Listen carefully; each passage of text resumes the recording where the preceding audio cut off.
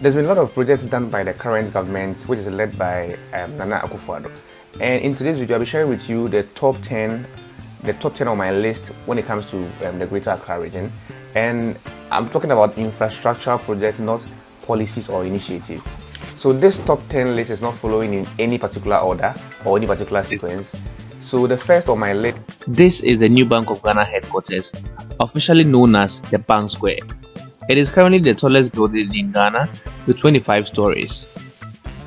It has a four-story car parking facility, two-level basements, an auditorium, and many others. The building has incorporated sustainable design concepts such as energy conservation, water conservation, material selection, recycling, and reuse of water. I mean liquid and solid waste. It's one of the few buildings in the country which is self-reliant and self-sufficient what I mean by this is that the building has an energy farm and the energy farm powers the entire building. So the building does not need power from the national grid. So the next on my list is the Kasoa Winneba road expansion or upgrade. So the road as it is is um, in single lanes, so single lane to and single lane from. But the upgrade of this particular road, um, when done, would see the road having two or dual carriage so two here, two there, moving at the same time. Later there will be a number of um, pedestrian footbridges to crack down on the various um, pedestrian knockdowns that happen um, on this particular side of town.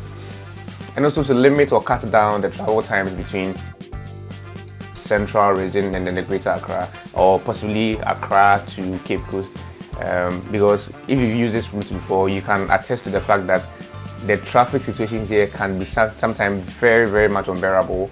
So this project seeks to bring some relief to commuters that use this particular stretch. So the next on my list is the Ofankor Nsawam Road Expansion Project. So the road as it is um, from the Pokuase interchange is an 8-lane um, road but after this project is going to be or this project seeks to expand it from an 8 lane to a 10 lane project all the way from Pokuase to Nsawam Junction. And this will bring some kind of smooth, seamless um, transportation of freight and passengers on this particular section of the route. One thing that is worthy of taking note is that there's been a construction of a railway um, bridge.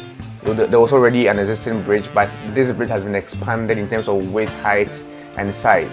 And now I can confidently or boldly say it will be able to accommodate two railway lines where two trains are moving, one moving to and the other from.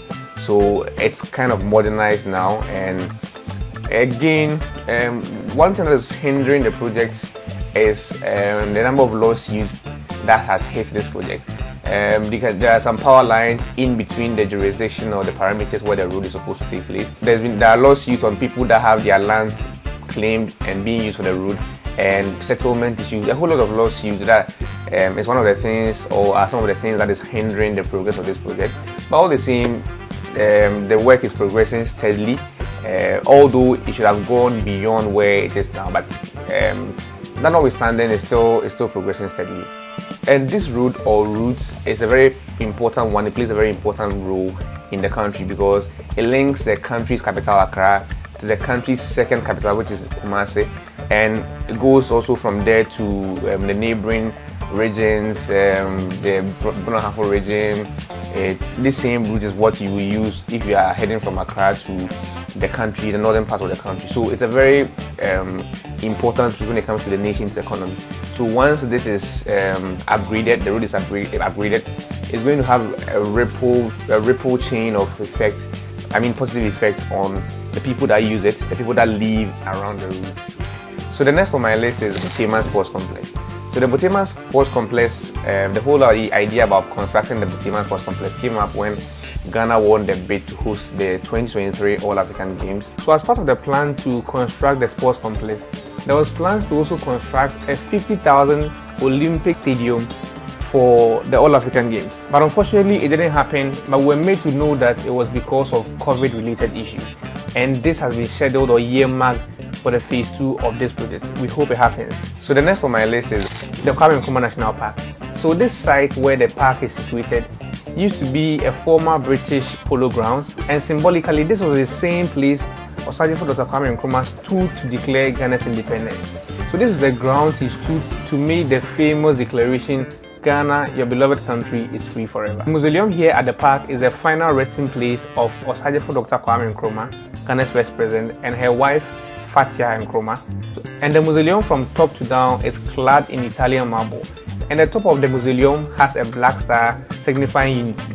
So things to look out for in the park is a bronze statue of Osagyefo Dr. Kwame Nkrumah with his hand up pointing forward, symbolizing forwardness. Another thing to look out for at the park is the mausoleum. That's where the mortal remains of the first president, Osagyefo Dr. Kwame Nkrumah, and her wife, Fathia Nkrumah, are. And there's a museum behind the mausoleum. That's where his personal belongings and things he used to use in his office during his presidency and some publications by him. So in case you are confused with what a mausoleum and a museum means, so a mausoleum is a house or a structure that houses a tomb or a mortal remains of a person. And a museum is a place where several artifacts are kept for historical purposes or any other purpose. And within the park, there's also a garden where there are several trees that have been planted by leaders, world leaders across the globe.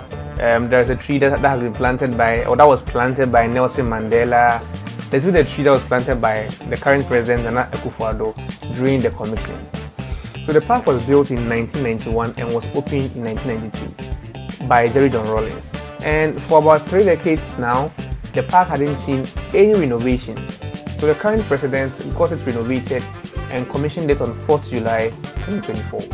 So the next on my list is the Legon Sports Stadium. So the project or the idea to build a stadium befitting the university for the University of Ghana started way back in 1976, but it wasn't started until about 2004. So the construction started in 2004 and it was interrupted in 2009 when the GET Fund stopped funding the project. So although the project was halted in 2009, at the time there had been the construction of a tartan track, the stands had been built and tartan running track was also laid, but the facility was not fully completed or officially inaugurated. So nothing happened again from 2009 until 2018 when Ghana won the hosting right to host the 2023 All African Games in Accra. So as I've mentioned earlier, this came with a plan to build a 50,000 capacity stadium at the Borteyman Sports Complex. But this plan was hit due to the COVID-19 pandemic and so the government had to improvise with the Legon Sports Stadium at the time it had been built to an extent and all they needed to do was to continue from where the previous work was left off. So this got the facility fully completed and it became the main venue for the 13th All African Games. So the facility can boast of training athletics track which is next to the stadium and other university sports facilities including a swimming pool and also a rugby field which is not far away from the main stadium. The stadium is a multi-purpose stadium and has an 8-lane track, 9 on the main street, Tartan athletics track. The running track is surrounded by stands for spectators. First row of ground stands are raised slightly above the ground and are located at some distance from the track. The stands are equipped with plastic seats and has a capacity of 10,000 spectators. It has floodlights provided by four external masts built within the stadium and a scoreboard at the southern stand. So the next on my list is the Flower Pot Interchange.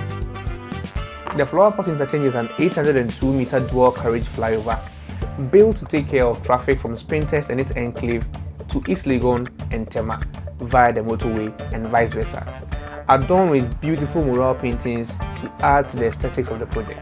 This project has already been commissioned and is in use at the moment as I'm speaking. So the next on my list is the DMU trains and the Tema to Mpakadan rail system. This project saw the construction of a new standard gauge railway system from the Tema Harbour to Mpakadan through or across the Volta Lake and as it stands is the only railway which has been constructed over any water body in the country at the moment. This project is part of a bigger master plan to build a railway from the Harbour to transport passengers and freight all the way to Burkina Faso. You know Burkina Faso is a landlocked country. What I mean by this is they are not surrounded by any water body or any sea or ocean. So in terms of imports, they heavily depend on Ghana. So if we are able to construct this thousand kilometer railway from the port of Tema to Ouagadougou in Burkina Faso. This will bring a lot of economic income into the country. So that is the whole business idea behind this railway and it is being worked on progressively. So now it starts from Tema, Tema Port to Mpakadan and then it will continue from there till it finally gets to Ouagadougou. So the next on my list is a STEM school located in East Legon here in Accra. So what does STEM even stand for? STEM. STEM stands for Science, Technology, Engineering and Mathematics. So this is a school built with a purpose and intention to educate students with hands-on skills on science, technology, engineering and mathematics right from the very young age, even before entering into the tertiary institution. And you'll be amazed what these kids benefiting from the STEM education are doing now. Just the other day, some students from one of the senior high schools constructed a solar powered dialysis machine. And there are other students from other schools also building drones. And it tells you the impact the STEM education is having on this crop of or this generation of students. The next on the list is the La Paz footbridge. So this footbridge comes at a very crucial time and it seeks to end pedestrians knockdown on the N1 motorway. So the next on my list is the Pokuase interchange, the biggest in Ghana, the first of its kind in the West African sub-region, a four-tier interchange project which has come to eradicate a lot of the congestion that used to happen on this particular side of town. The flyover connects the north and south of Accra seamlessly via Pokuase. This same project also connects Ghana's capital Accra to its second capital Kumasi seamlessly. So the Pokuase interchange project was initiated by the previous government, the Mahama-led government. They started with the negotiations and signing of the grants for the project. And the Akufo-Addo-led government executed the project by cutting salt for it and also redesigning the project from a three-tier into a four-tier interchange, ensuring its completion and commissioning. This is how we love to see things in the country. For any developed nation, continuity is key. So when one government starts a project, and the next government comes into power, he completes it for the betterment of the nation. So the next on my list is the Accra Marine Drive project. This project seeks to redevelop a 241 acre land into a waterfront and transform the capital city Accra into a world-class tourism enclave. The Marine Drive Accra project also seeks to provide essential infrastructure to support the country's developing cultural and creative industries. This project, when completed, will turn Accra into the new Dubai of Africa. Let me know down in the comment section your top 10 projects by this current government, any other infrastructure project you felt I should have added but I didn't add. Feel free to leave it down in the comment section below. Maybe I might do a second video for that. But I believe today's video has been helpful, educative and insightful enough. If that's the case, like our video down below, share so other people can see, and as always, stay positive, and I'll see you in the next one. Bye for now.